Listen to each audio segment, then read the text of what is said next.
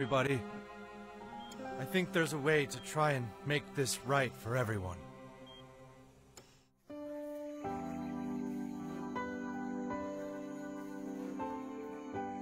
To date, Shameless America has raised over $40,000. With that money, we are putting more and more iPads into these people's hands. With iPads, these people can finally help more Americans get rid of negativity on their social media.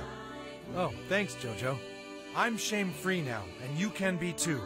For just $1 a day, one of these beautiful children will protect you from trolls and make your internet a safe space. We won't rest until America is completely shameless.